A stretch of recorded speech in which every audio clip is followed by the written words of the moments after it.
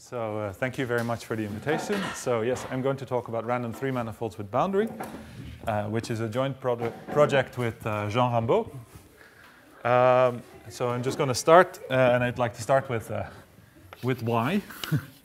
so why might one be interested in, in random three manifolds in general, or random manifolds? So my interest, my personal interest, and also that of Jean, mainly comes from geometry.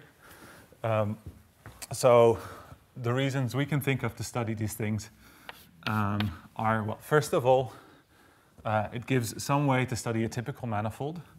In particular,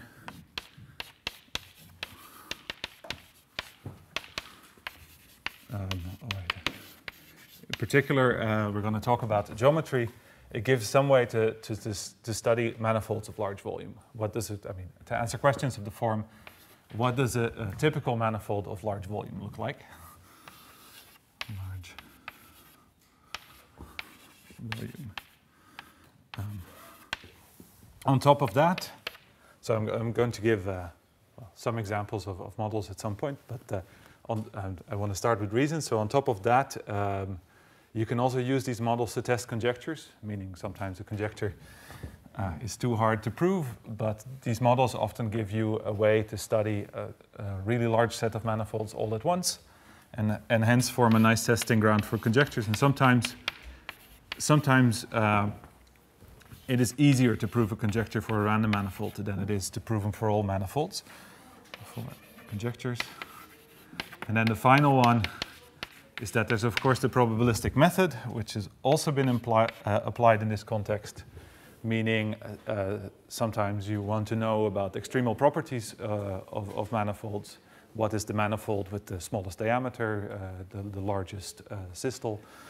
Uh, things like that. And sometimes uh, it's easier to do that probabilistically, meaning sometimes it's easier to prove that in some uh, model for random manifolds, the probability that your random manifold has that prop extremal property is, is non-zero than to explicitly construct some, uh, these manifolds. So this is probabilistic methods. Probabilistic.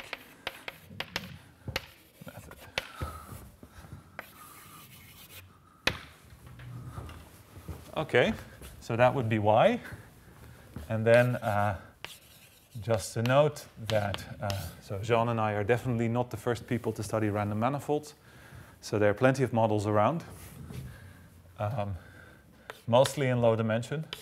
So the, the best, uh, in, so I'm going to talk about three manifolds um, uh, at some point, but uh, so the most studied model for random three manifolds is that of random Heegaard splittings very briefly say what that is.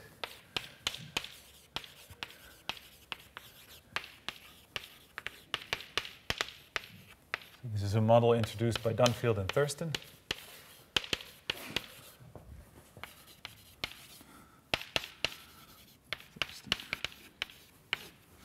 Um, so what is a Heegaard splitting? You take two handle bodies, so meaning you take two surfaces and then you fill them up with smoke meaning two solid uh, surfaces like this, so three manifolds with boundary, twice of the same genus. And if I now take a homeomorphism between the, or say diffeomorphism between the, the boundaries of these two manifolds, so between these two surfaces of genus G in this case, then, um, then what I can do is I can build a manifold, which is this is handle body 1 and handle body 2. Then my 3 manifold would just be a handle body 1 union handle body 2. And then I quotient out by gluing x every point in the boundary of handle body 1 to its image under phi in the boundary of uh, handle body number 2. So this gives you a manifold. I mean, locally, what phi does is you glue one half ball to another half ball. So locally at every point, this thing looks like R3. So it's, so it's definitely a manifold. And um, so I'm not going to go into this, but there's a way to pick phi randomly. So you, so you, fix a genus, and then there's a way to pick phi randomly by uh, you do this by a random walk on a group, which is called the mapping class group. Um, uh, but anyway, you can pick phi randomly, so you get a notion of a random manifold.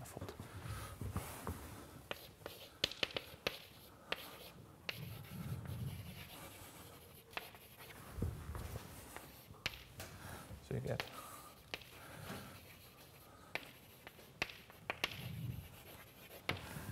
Um, so one reason that this is an interesting model for, for random manifolds is the fact that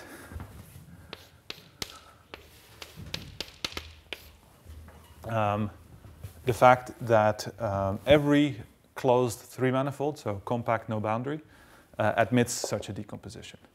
So, so every closed three manifold admits Heegaard splitting. So you see that as a differential structure or just a... Sorry? You, you put a differential structure or just a homeo? Dif differential structure. Does it, uh, in fact, uh, so this is, this is a fact from surface topology, but it turns out it doesn't matter. I can also, uh, okay, let, let me say it like this. So what if the, the, the fact is if I wiggle uh, this, this thing a little bit, it doesn't change the differential structure or the, the, the topology of the resulting space here. So in particular, what I really want to do is I want to pick a diffeomorphism or homeomorphism mod isotopy. And then there's a fact from surface topology that uh, mod isotopy, I can always assume it's a diffeomorphism or a homeomorphism. So it doesn't matter. Another, another way to say the same thing is that if two three manifolds are diffeomorphic, uh, sorry, homeomorphic, they're also diffeomorphic. So in, in, in, dimension three, this doesn't matter yet. So then you, you got a discrete space in the end. yeah, yeah, it's a, it's really a, it's a, it's a, yeah, it's a random walk on a group. So it's a, um, um, it's actually now I can, since I've already said it. So uh, diffeo, self-diffeomorphisms of a surface uh, of genus 2 modulo isotopy form, form a group the mapping class group, and you, this is finitely generated, so you can do a random walk on it. That, that's, that's what this is. Um, oh yeah, yeah, and so every closed three manifold admits such a, a, splitting. So this is also, if you are willing to uh, accept the fact that every closed three manifold admits a triangulation, this is also not so hard to see. But, so triangulation is a decomposition into tetrahedra. Uh, and what can I do?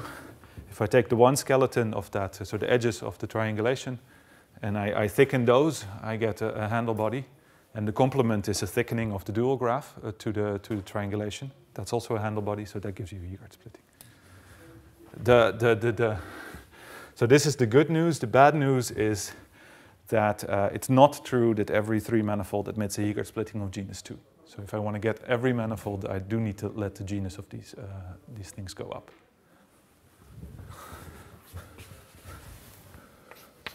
That, but not all bounded genus.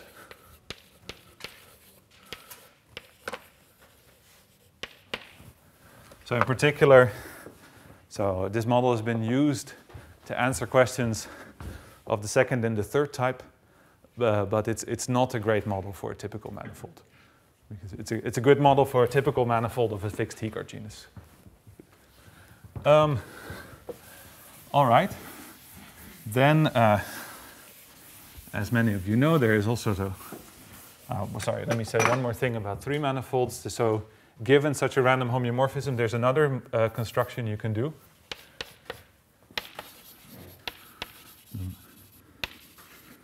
Mapping tori. So another thing you could do, if I have a random self-homeomorphism of a surface, so phi sigma is a, a or diffeomorphism, doesn't matter. Uh, so sigma is a closed surface. Another thing I can do is I can thicken my surface. Call this n phi. I can thicken it and then glue the top to the bottom with. Uh, so this is a this is a three manifold with boundary, two boundary components. Uh, the surface cross zero and the surface cross one. And I can use my self homeomorphism to, to glue that together. And that gives me a three manifold. So x0 goes to phi of x1 for all x uh, in sigma. Uh, in sigma. That gives me another model for a random three manifold. Now it's no longer true that I obtain all uh, three manifolds, so not every three manifold is of this form. There's a, there's a famous theorem of a couple of years ago due to Agol that most manifolds have a, have a finite degree cover that is of this form. So it's not, it's not so bad. But again, if I want to get all manifolds, I need to let the genus of the surface go up. And it turns out, uh, there's something I'm not really going to talk about, but it turns out that geometrically, uh, these two models are very similar actually. So the type of manifolds I get here are very similar to the type of manifolds I get there. So just to be sure, then in the end you can only ask uh, for topological question, not metric question. Yeah, not that, that's that's true. Not yet. Yeah. So this so far this is all just topology. That's true. Um, all right, and then uh, as many of you know, there's also lots. Of, so it's going to be a three manifold, but there's lots of uh, models for random two manifolds as well. Of course, you can pick a random triangulation. Um, you can, uh, or you also, if you want to do geometry, you have spaces of, of metrics on, on surfaces, and there's ways to pick random points in those. And there are lots of there are lots of models out there. So what Jean and I wanted to look at uh, is this question of typical manifolds. So for that, these Heegaard splittings or these mapping tori are not that satisfactory. Um, so you want to try something else. So if you, if you know random surfaces, you can, you can do that by randomly gluing triangles together. So the first thing you think of uh, would be to take tetrahedra instead and randomly match those up uh, along their faces. So this is, in the, this is in the quest for, let's say, typical manifolds. So, but the problem is, as I'm sure most of you know too, uh, is that that doesn't work. So the, the, version of proof that I know comes from the same pa paper by Dunfield and Thurston. So what do I do? So here's a model. Just take n tetrahedra, I randomly match up the faces, and then per pair of faces, uh, I uh, up to, I mean, up to homeomorphism, say I have a choice of three gluings uh, if I want to get an oriented manifold. I uniformly pick, uh, pick one of three per face matching, and that gives me a random manifold, or gives me a random complex. but the problem is that the probability that that actually gives me a manifold tends to zero. So let me just write down what I mumbled in words. Uh, a random uh, gluing of n tetrahedra uh, is a manifold. This probability tends to zero as n tends to infinity. Uh, so let me show you where that comes from. Won't give a full proof, but um, so what, what, is a, what is the problem? So first of all, what is a manifold? A manifold is one of these complexes in which every point has a neighborhood homeomorphic to a bit of R3. Um, so you see that if I'm in the interior of this tetrahedra, there's no problem. Likewise, if I'm in the interior of one of the two-dimensional faces, I glue two half balls together, that's fine. Like, and, and finally, if I'm in the interior of an edge, that's also okay because I glue a couple of these wedges together along these edges, that's also a three ball.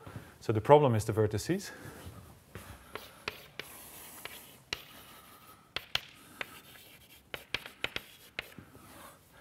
So, so let's look at the link of the vertices. So the, the surface formed by these little triangles here. So the observation is just that if I want my complex to be a three manifold, then the neighborhood of the vertex is supposed to be a ball, so these links better form spheres. Um, so links need to be spheres. What does that mean? Well, the, um, the, the vertices, so these, these spheres are triangulated. The vertices of these spheres correspond two to one to the edges of my complex. Um, So, uh, and if, if I want them to be spheres, an Euler characteristic computation gives me that I need to have lots of vertices of degree at most six. Uh, in particular, if I, so if I look around these edges, that gives me lots of cycles in the dual graph of, of, of length at most six. Um, so, and the dual graph is just a four regular graph, and four regular graphs don't have lots of cycles of, of, of bounded length. So I need to have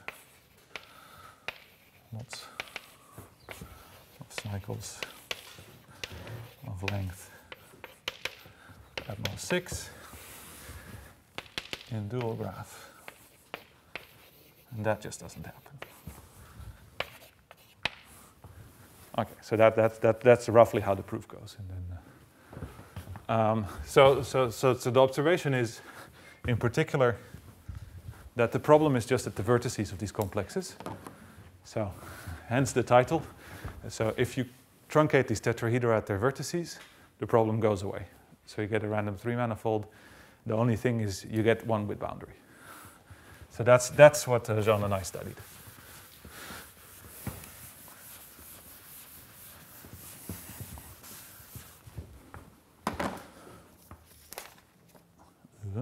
Yep.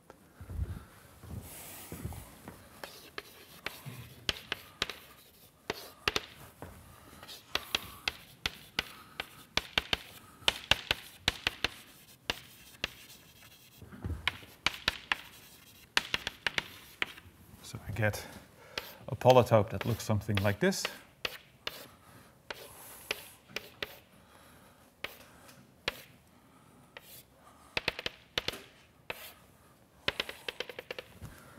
Uh, so it has some, some triangular faces that come from these vertices and some hexagonal faces that come from the faces of the original tetrahedron. And what we're going to do is we're going to match the hexagonal faces up randomly and, and then with and per, per matched pair of faces, I'm going to pick one out of three gluings uh, uh, at random. That gives me a random manifold. So, randomly.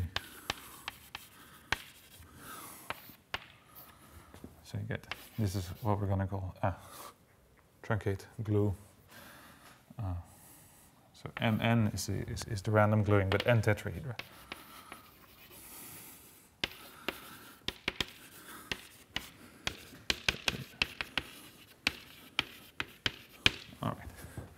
That's the, I, I'm lying, I'm lying a little bit here. So actually what we want, also what we want to do, so this is not so hard if you know random regular graphs. The, um, we want to condition on the dual graph, so the graph you get if I put a vertex in every truncated tetrahedron and I draw four edges through the um, uh, through the hexagonal faces and I match them according to the same pattern I matched my, my, my, my polytopes. Uh, I want this dual graph not to have uh, loops or, uh, or, or multiple edges. So I want this dual graph to be simple. With simple dual graph. So what, uh, graph. This is, so this is a, this is a, I mean, a priori is maybe not such an unnatural condition, but this really, uh, for us, is really something that comes up in, in one of the lemmas we need at some point. Uh, this is, for us, is really a technical condition. Uh, in particular, this condition uh, is, is weaker than asking that the complex is simplicial. Uh, so simplicial means that, uh, that every pair of tetrahedra share at most one face, um, every pair of vertices share at most one edge, etc., etc. That, that is stronger than that condition. Um, what did I want to say? Ah, yeah. So, so this, the, the, like I said before, the, the dual graph of this is a, is a random uh, regular graph. The, the, I mean, in reality, the model we are studying is the configuration model for random regular graphs. Um, so if you know this model well, you know that this, uh, if I let the number of tetrahedra or the number of vertices of the graph tend to infinity, this has positive probability asymptotically. And all the things I'm going to talk about are zero one probabilities, so, they, uh, so this won't really uh, be a restriction. Okay. All right, so that's the model.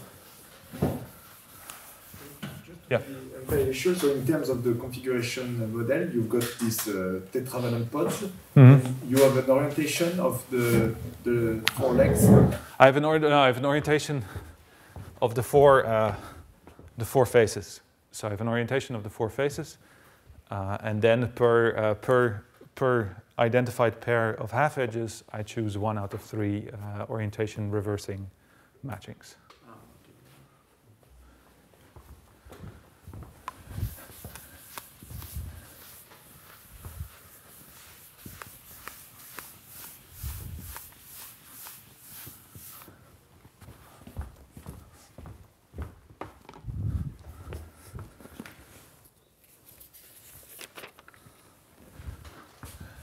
Okay.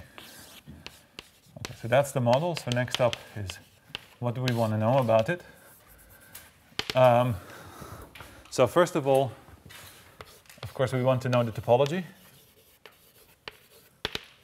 Um,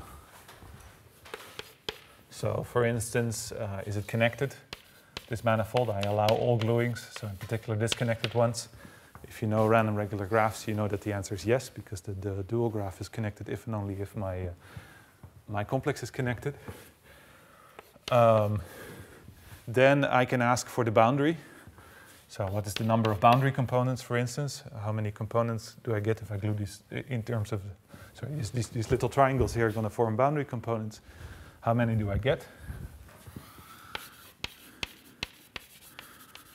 Components and then what are their, uh, then these boundary components are closed surfaces. So, and they're oriented. Um, so the question is, the only question that remains is what are their genera? Of the boundary.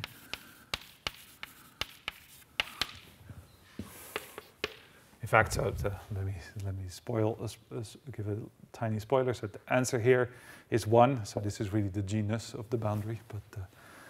Uh, um, uh, and then, of course, you can ask uh, three-dimensional topological properties. So, for instance, what are the Betti numbers of my uh, complex?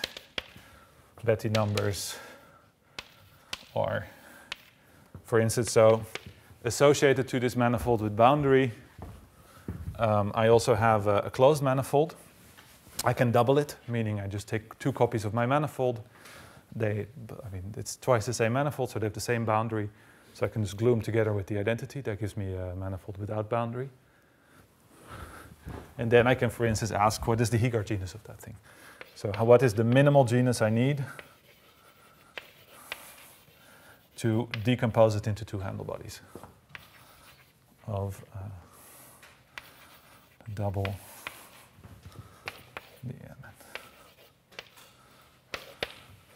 Um, and then, so that's a topology. And then there's geometric questions you can ask.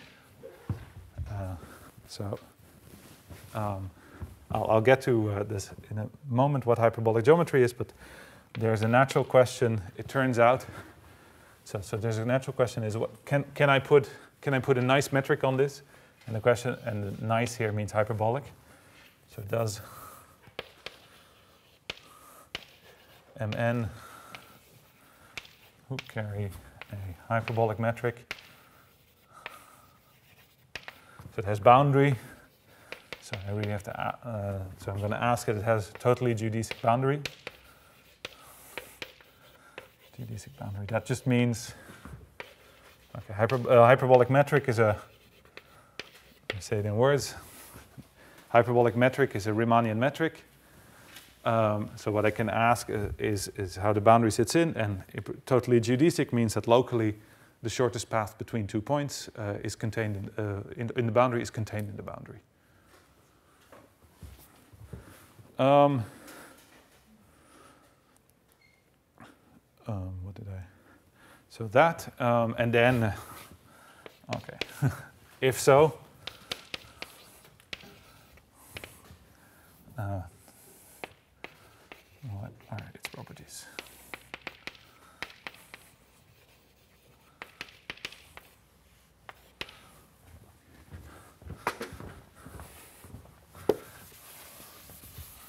So before I get to the answers that, uh, that John and I uh, found, do a quick reminder on, uh, on, on the geometry part.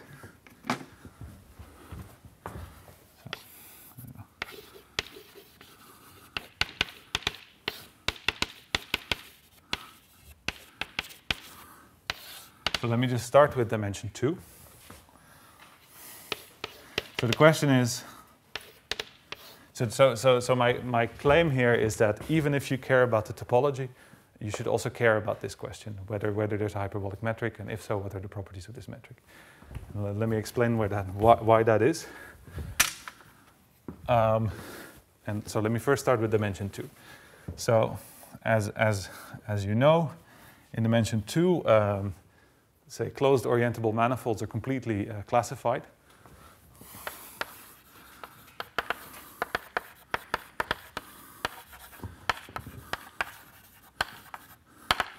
Uh, so let me say, uh, let me add some adjectives. I mean, it does, it's not necessary. You can classify all of them, but say closed, so compact, no boundary, and orientable. So what is the classification of surfaces? It tells you that if I have a, a two-dimensional manifold, if it's closed and orientable, then it's necessarily diffeomorphic to one of a countable list, namely the, the sphere, the torus, the surface of genus 2, etc.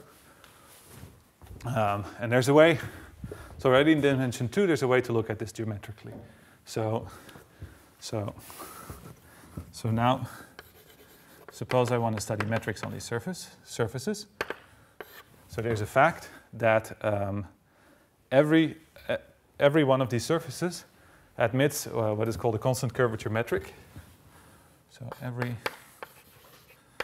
such surface admits a uh, Riemannian metric.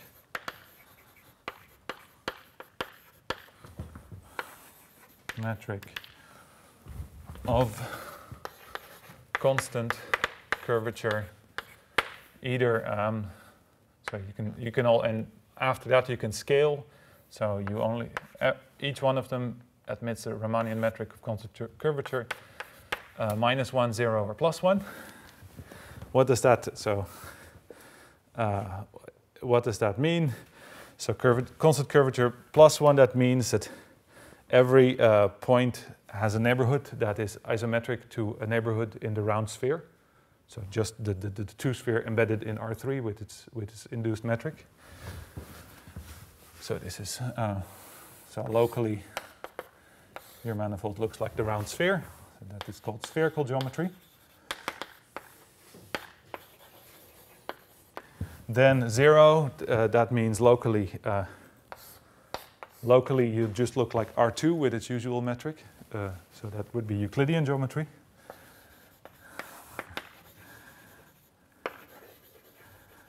And then, in many ways, the most important one, uh, hyperbolic geometry. So constant curvature minus one. What does that mean? Locally, locally you look like the, the hyperbolic plane. What is that? What, what does that geometrically mean, roughly? That means that locally you look, you look like a saddle. So every point has a neighbor, so every point has a neighborhood that looks like this, meaning, and so it's negative curvature because around this point, if I look sort of in the direction out of the board, it curves in one way, and if I look along the board, it curves in the opposite way. And, and constant curvature minus one means just that uh, this, the, the way this curves is, uh, first of all, constant and also in both directions is the same. Uh, and this would be hyperbolic geometry.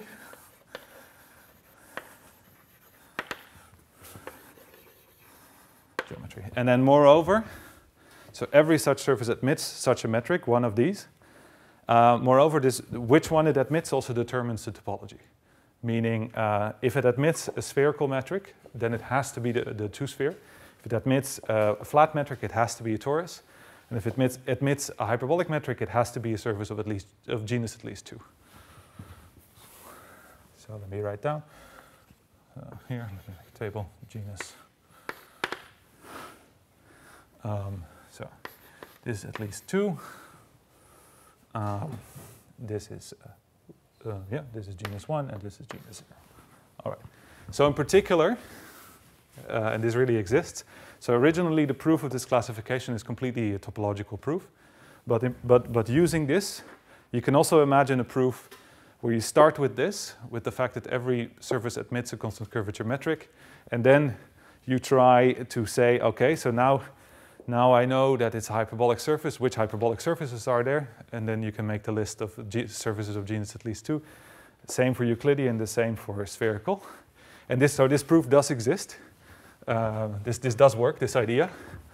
And in particular, so, so this, I think, already convinced you that even if you're just interested in topology, putting a metric on your uh, manifold is, is, is useful. Uh, and it, in, in particular, uh, in dimension three, uh, it's so far the only way we have of doing such proofs. So in dimension three, closed manifolds are not at all classified. So it's way too hard to, class to, make a, to, to make a list like this. Um, but you, there, there's a simil similar strategy. So this is, this is what was, uh, let's see, where am I? Yeah. The geometrization program of Thurston, which was famously sold by Perelman. Uh, so Thurston geometrization. Oh, sorry, let me add Thurston Perelman. Thurston already solved a lot of cases, and then well, Perelman did, uh, did the general case. So the idea is the same. So instead of, of, of, trying to do a classification by topology, you say, you try to prove that every manifold admits a certain geometry, and then you try to understand uh, geometric manifolds. So, so in dimension three, the situation is already much more complicated. So uh, in particular, in dimension 2, we had three geometries. In dimension 3, there are eight of them. Um, so, um, um, so what do you have? You have the analogues of those three. So you have uh, three-dimensional spherical geometry, the geometry of the three-sphere as, as a subset of R4. So S3. You have uh, three-dimensional Euclidean geometry, geometry of R3, there's a, there's a three-dimensional analog of the hyperbolic plane, hyperbolic three space. Um, and then there's a couple others. So first of all, a thing you can do is you can take a sphere and you can cross it with a flat line. And you can do the same with the hyperbolic plane. You can do the same with, uh, with R2, of course, but then you just get R3 back. So you have uh, H2 cross R, a, uh, S R2 cross R. Those, and you, this, this is already R2 cross R. And then there's a couple more. So there's the, doesn't matter so much, I'm not going to really use this. Just want to convince you that, that even if you just want to do topology, geometry is useful. So you have the, the geometry of the universal cover of SL2R. And then uh, you have two geometries that are called nil and sol, nilpotent and solvable. Um, all right. And so now what, what is the program here? So it's, it's again, the idea is inspired by the, the, the two-dimensional case. You put a metric on the manifold and then you try to classify.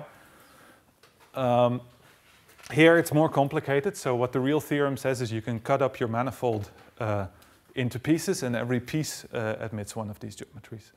And then you can try to classify the pieces. So like I said, this doesn't lead to a classification. So so no classification. But it leads to lots of other stuff. stuff. For instance, I mean, the most famous consequence is the Poincare conjecture.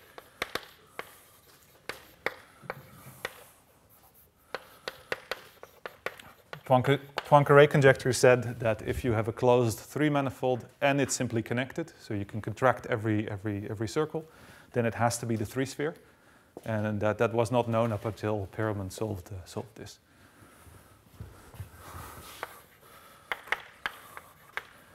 Okay, and, and, and, and lots more. But anyway, so, so the, the, the, the, the message I want to uh, send is, is it's even, so if you want to do topology in three dimensions, it's a good idea to, to try to put a metric on your manifold. moreover, out of this long list of manifolds, the, the, the hardest to understand is definitely the, the hyperbolic case. So there's, there's classification theorems for, other, uh, for, for the other uh, manifolds. And it's also the most typical one in, in many ways. So in particular, most of these models of random three manifolds, the probability that the result is hyperbolic is one. when you say the result is hyperbolic, you first have to cut into pieces, or no, no, directly. There's no, there, there's no, there's no way to cut it into pieces, and the, the, the, the one manifold you have is hyperbolic. Uh, typical. So I don't know. don't know whether this convinces you, but that's also definitely true in dimension two, right? Among all surfaces, hyper, the hyperbolic ones are definitely the most typical. I mean, here, if you put one of these uh, metric, mm -hmm. uh, then it's uh, injective. I mean, you cannot put two metrics on the same uh, surface. Yes, yeah, that is that is that is true. Yeah, there's no. Uh, it's easy. Um, in some cases, yes. For instance. Um, um, well, for in, okay, for instance, if you know, in particular, if you, for instance, if you know um, that it's H3, you know that uh, if you take a, the universal cover of the manifold, it has to be H3. Um, in particular, that is a contractible manifold, so it can definitely not be S3. Um, then uh, if it's a closed manifold, you also know, so there's geometric group theory, so if, if there's, there's um, I don't want to go into details of that, but you know that if it's closed, the, the fundamental group is quasi-isometric to the hyper, hyperbolic three space. I mean, roughly what that means is if you, if you look at the fundamental group without your glasses, you see hyperbolic three space. Uh, that is definitely not true for, for R3, for instance, uh, and, and similarly for these ones. So, so yes, sort of you, you can patch together proofs of, of that like that. Um, all right, and then there's, oh yeah, there's one final piece of, of three-dimensional geometry I want to mention, which is now specifically about hyperbolic geometry, um, which is a, a, classical theorem due to Mostow. For the, and there's a generalization by Prasad for manifolds of finite volume, but if, if what, what Mostow says that if, if I have two hyperbolic manifolds, M and N, are hyperbolic with totally geodesic boundary.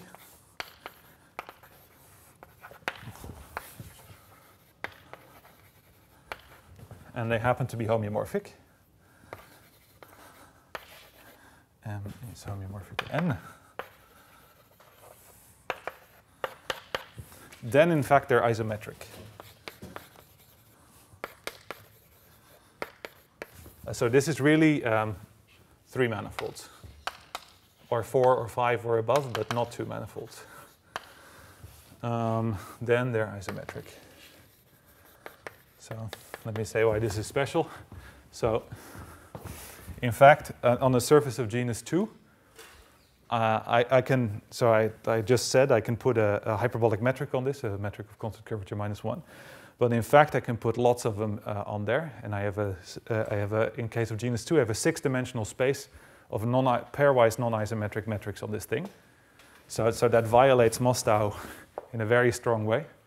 Because all, in particular, all these manifolds in that space are homeomorphic, but they're definitely not isometric. So, so Mostow, but Mostow tells you that that stops in dimension 3. You don't have a deformation space of hyperbolic metrics on a, on a, on a closed 3 manifold. In particular, it tells you that hyper, uh, invariants of this metrics, metric are topological invariants, meaning if your manifold is hyperbolic, it, it carries a unique such metric. So for instance, the topology determines the volume of the, of the manifold. So now, if I can prove that my random complexes are hyperbolic manifolds, then I get automatically I get a, the canonical way of putting a hyperbolic metric on it, and its volume is, is determined just by the combinatorics of the gluing and, and by nothing else. All right.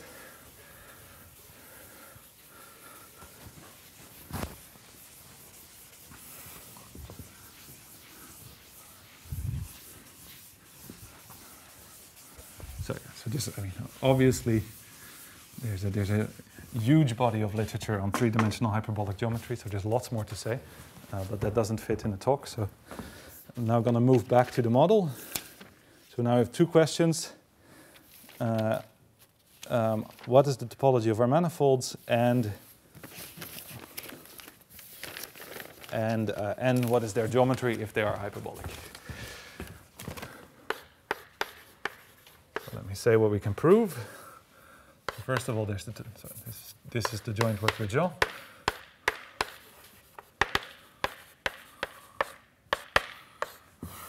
So first of all, uh, we have the topology. So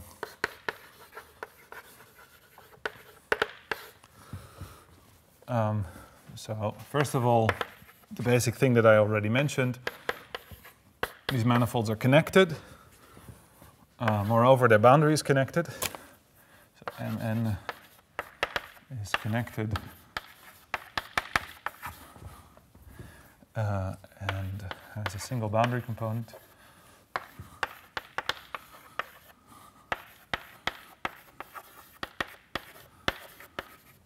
If you uh, this uh, maybe if you think about random triangulations, often this is this is not so surprising. So I already said that connectedness is, is equivalent to connectedness of random regular graphs. And then the fact that the boundary has a single boundary component or that the boundary is connected, that just means that if I look at the gluing of these, of these triangles as a, as a random surface, I, um, then, then the result is connected. So if I do this, it's well known that if I do this one pair of triangles at a time, uh, the result is connected. Here that's not true, I glue them three at a time but, uh, but, but sort of it's close enough to, to, to doing it one triangle at a time that the result is still connected. Um, okay. Moreover, um, just like for uh, random surfaces, the genus is large, as large as it could possibly be. So, so just from counting the number, yeah, I have n tetrahedra, so I have four n triangles in the boundary. Uh, so just I can do an Euler characteristic computation. The genus is going to be at most n, and it turns out that uh, it is it is actually uh, asymptotic to n in probability.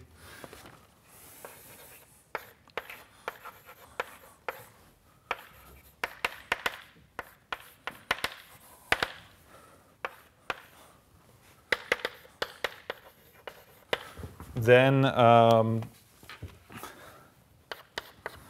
what else do we have? So actually, we, we even have error terms. So that uh, that error term is, is is any function that grows faster than a logarithm of n uh, works as an error term here.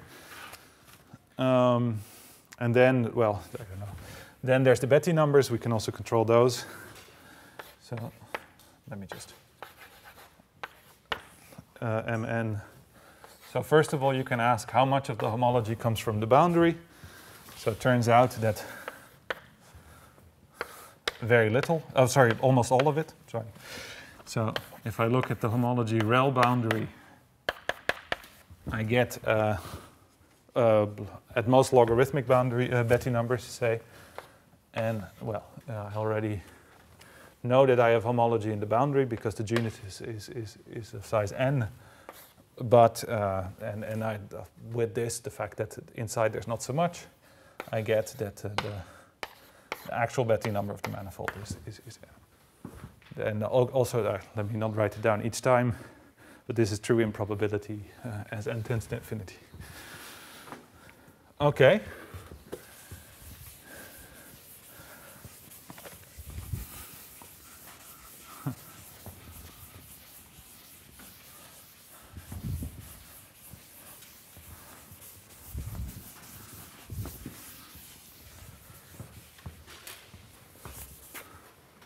And then, um, then there's the geometry.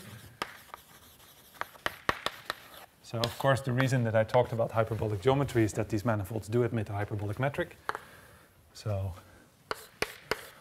let me say, let me just say Mn is hyperbolic with totally geodesic boundary.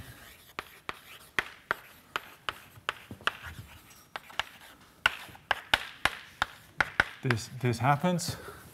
So then again, Mostow tells me that means it has a unique hyperbolic metric. And then we can say a bunch of things about the geometry of that metric. So, so um, let me just do a couple of examples. Uh, first of all, we can control the volume. So hyperbolic volume. Um,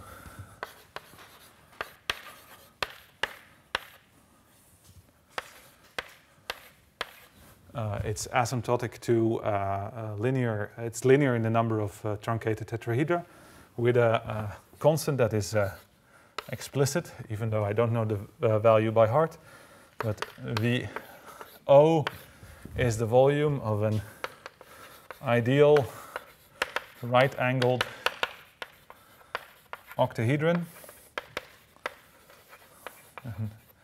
in um, H3. All right. So okay. octahedron is, a, is an octahedron. Here's H3. I can draw H3 as a ball. Ideal means that this, this octahedron has all its vertices on the boundary. So let me just draw it uh, like this.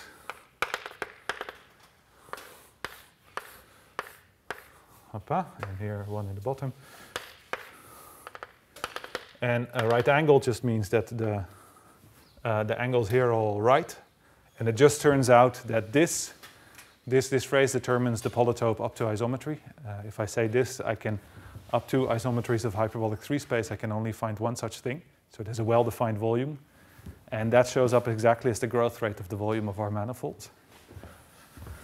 Um, and then, um, then, um, then just like, I don't know, if you've thought about these random surfaces by, hyperbolic random surfaces by Brooks and Makover before, or random regular graphs, they share many of those properties, meaning they're highly connected, for instance. Um, just like uh, graphs, uh, hyperbolic manifolds have a, have a, a first Laplacian eigenvalue. And um, this, this does not tend to zero, or if, or if you want, there's an analog to the isoperimetric constant for hyperbolic manifolds too. Uh, that does not tend to zero either. Let me say it in terms of the Laplacian. Um, the probability that spectral gap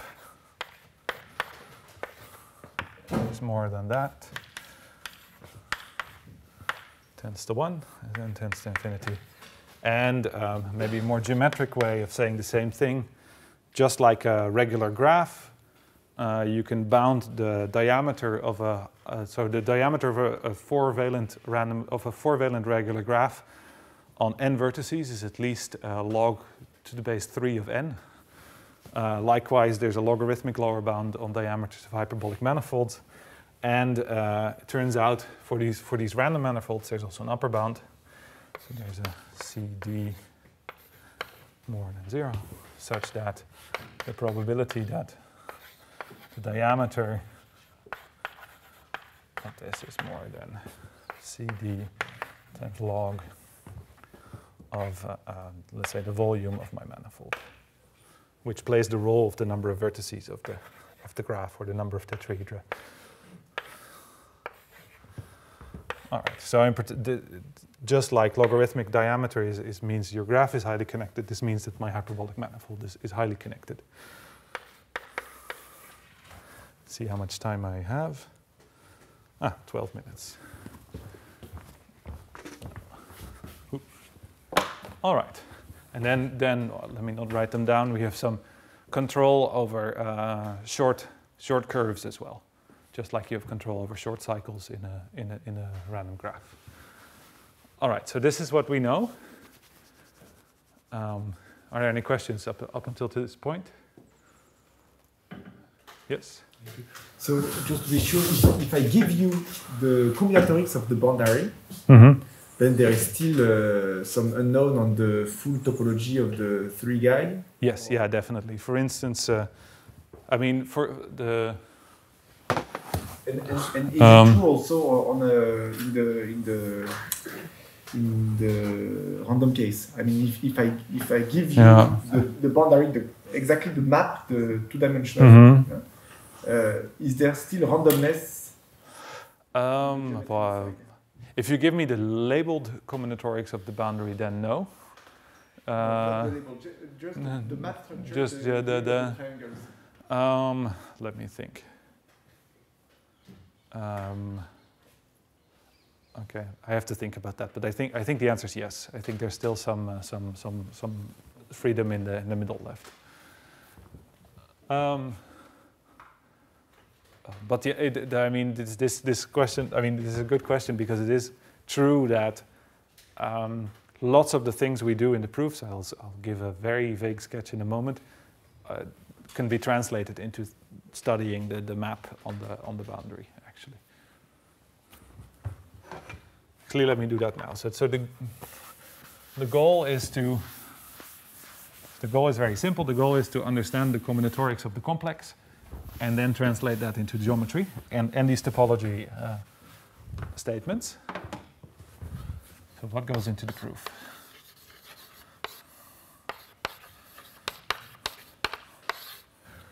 So, so, okay.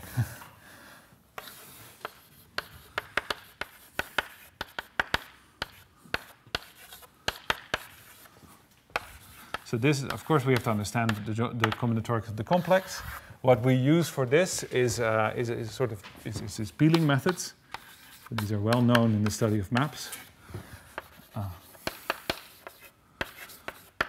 so, so, so we use in, in reality we use very simple uh, peeling algorithms to understand uh, the, the, the combinatorics of our complex. This already uh, I erased, I just erased all of them, but this, in reality, this already gives you the, the, the um, this already gives you all the topology I, I put on the board.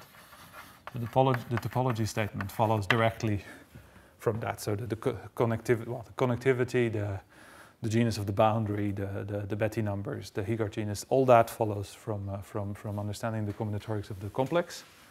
And then, uh, so that's the combinatoric side of it. At, then there's the, the geometry side of that, of, of the proof. So how, does, how do you go from the combinatorics of the complex to, to that? This is, this comes out of uh, a set of You didn't mention uh, your result on the Heegaard genius. Talk about the genus. Oh, Yes. oh, sorry. Uh, oops, uh, I skipped, accidentally skipped it. So the Heegaard genus is linear, uh, just like the, and we, uh, the, the, also there we have the, so the Heegaard genus is asymptotic to one, uh, to, sorry, to n, one times n in probability. Then, uh, yes. So the, the, the, the geometry we get out of uh, a set of techniques from hyperbolic geometry, of course, which, uh, which is known as Dehn filling. So this was started, also this was started by Thurston. And the, the, the actual results we use are due to Futer, Schleimer, and Purcell. So these, are these are hyperbolic geometry theorems. And um, they, I mean, their results are sort of the most general, general version possible of uh, results due to um, Brock and Bromberg, and before them, uh, Hodgson and Kerckhoff.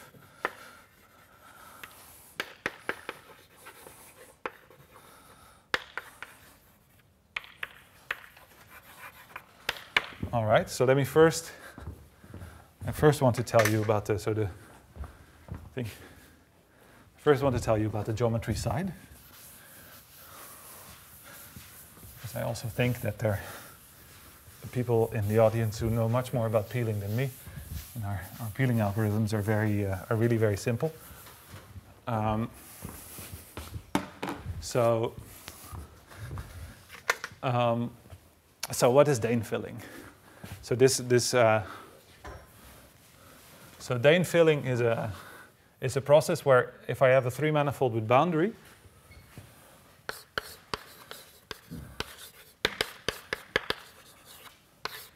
so if Mn, sorry, M, sorry, M is just a topological three manifold.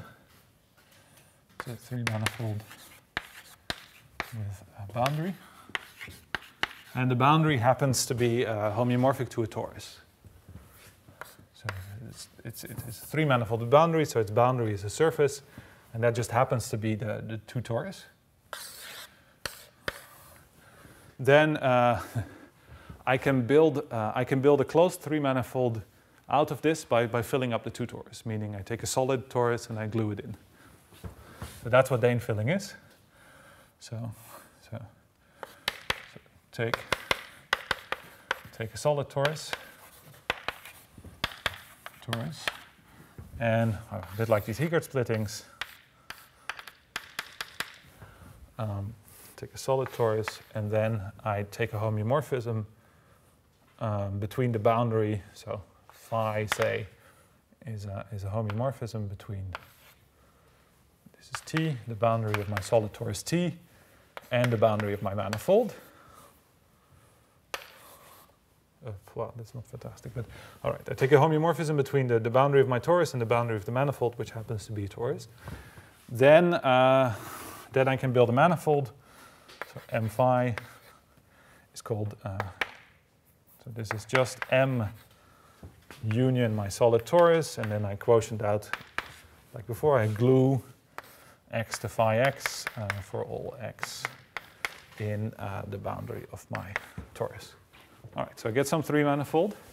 It turns out, actually, that the topology of this three manifold is completely determined by the, where this curve goes. So this curve goes, it's a homeomorphism, so this curve goes to some closed curve on the boundary of M, on the tor boundary torus of M.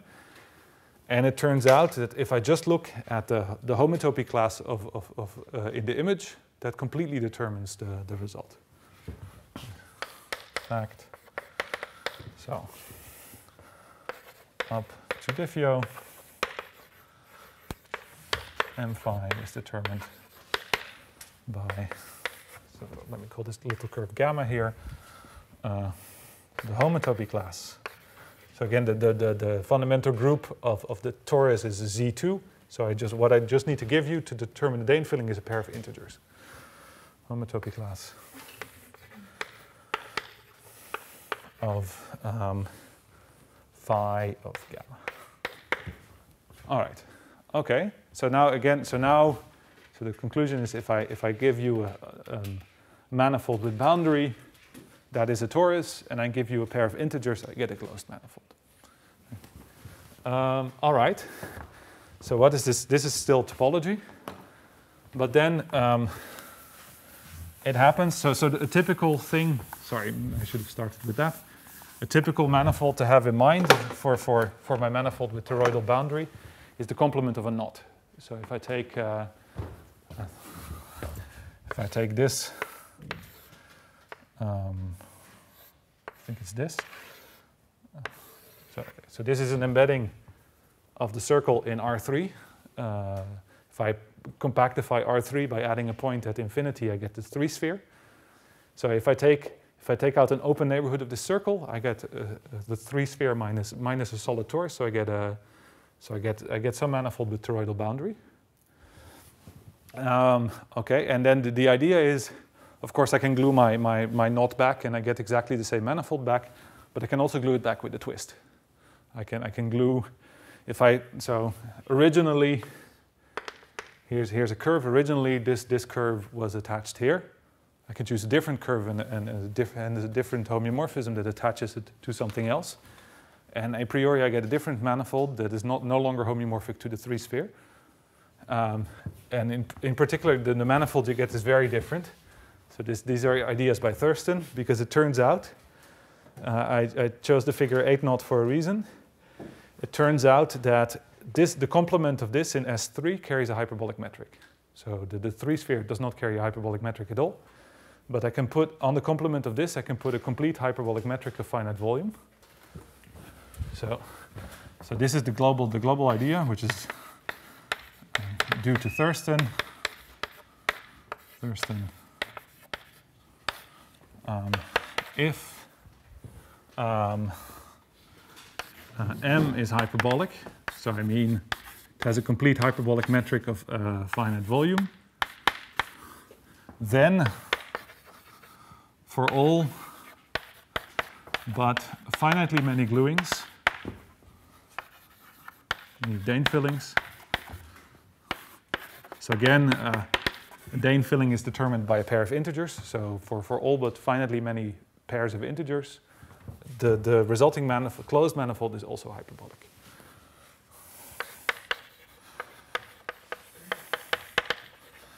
Uh, m phi is also hyperbolic, meaning it carries a hyperbolic metric. And um, the way he proves this is actually, uh, he proves that if you take longer and longer curves on the boundary, uh, so if you tend to infinity in, in, in Z2, uh, the, the, this, this, this manifold actually converges to the hyperbolic manifold, to the, to the, to the manifold uh, without the torus in some way. Okay, but so after Thurston, there's, but the, the, the moral is sort of, it's hyperbolic, and moreover, if you take a really long curve, uh, then the geometry is even pretty close of the closed manifold and the open manifold.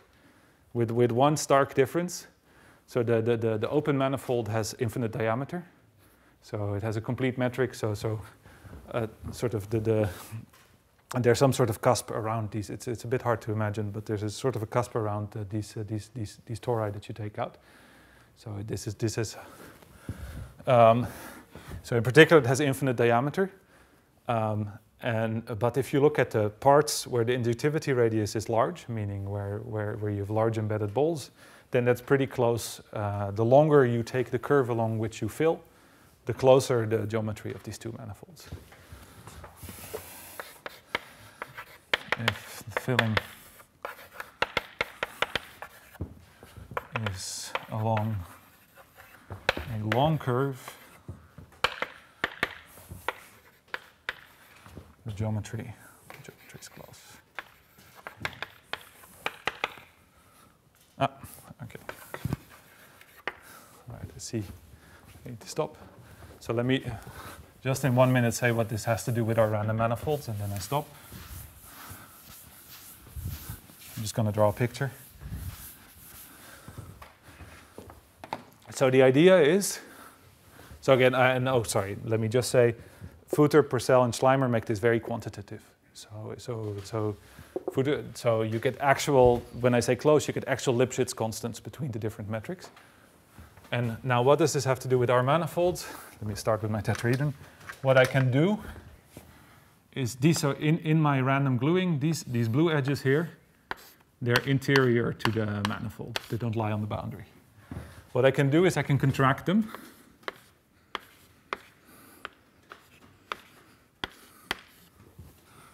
Um, and the one on the back as well. If I do that to all edges, I get exactly an octahedron. Um, it's a bit hard to draw. Uh, maybe it takes a second to wrap your mind around this, but I mean, in particular, all these hexagonal faces become triangles, so I get an octahedron. And now, now I know, let me just draw, let me not try to draw a, sort of a picture of what happens after, uh, after collapsing these edges, but let me just draw an octahedron. And the vertices of this octahedron come from these, where, where once the edges were. And now there's just the fact that I know there's an ideal right-angled hyperbolic octahedron. So I have a hyperbolic metric on this thing. So I can glue these octahedra in the same pat pattern that I glue my truncated polytopes. That gives me a, that gives me a hyperbolic metric on a complex of octahedra. And moreover, what, what if to go from here to here, that means that I replace these things, these points here, by, by solid cylinders.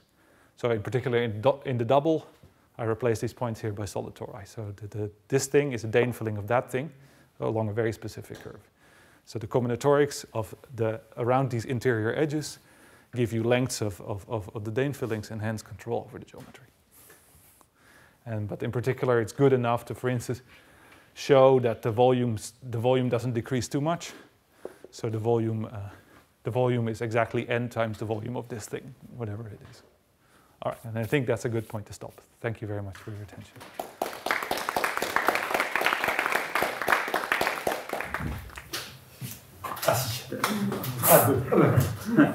Yeah, I mean, non, déjà posé beaucoup. yeah, yeah. I mean, there is the obvious question, uh, which is, uh, is, is there any hope to do something where you, you fix the topology of the, of the three manifolds that you are that you are considering? and then look at tri- random triangulations Yeah, of it. yeah. Um, it's a good question. To be honest, I I don't really know because the I mean, it, it, uh, as many of you probably know, it's really hard to even count triangulations of three manifolds, right? It's not even known how many triangulations with n tetrahedra the three sphere has. Uh, so I think I, I don't know by heart, but the best bounds are between something like n factorial to the power one over six and, and, and uh, exponential or something. So um, I so I wouldn't know how to how to do that with uh, speci- spe- uh, specifically not with uh, with this.